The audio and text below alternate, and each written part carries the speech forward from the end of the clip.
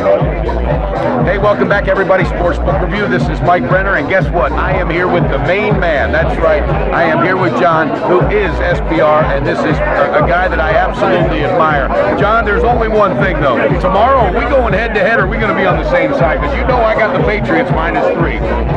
Patriots minus three. That's a pretty good pick with Belichick and Brady. Yeah, absolutely. Actually, I'm going to go minus seven and a half plus 230. I think that's the way to go. I got a feeling it's going to be a double digit win. As in 1994, all right, the Giants were playing the Buffalo Bills, and the Buffalo Bills with Jim Kelly, the most prolific offense in history. Shotgun, no huddle, everything.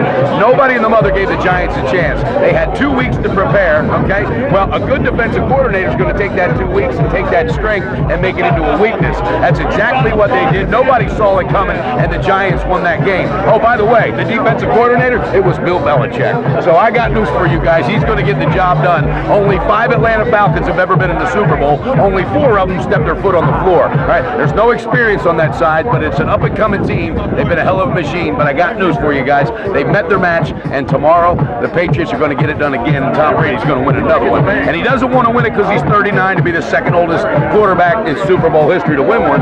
He wants to win it so he can grab that trophy from Roger Goodell and just kind of boom.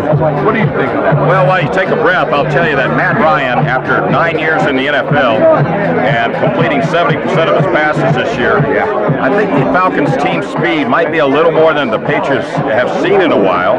This is true. You know, as they played in Houston and Pittsburgh to uh, get to the Super Bowl, you know, I think they could. Uh, I think Atlanta's got a, a good puncher's chance. In fact, if they were favored in this game, it wouldn't surprise me. Yeah. So I think it might come down to the last possession.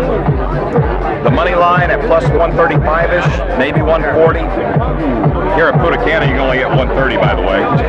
so uh, I think that's the bet.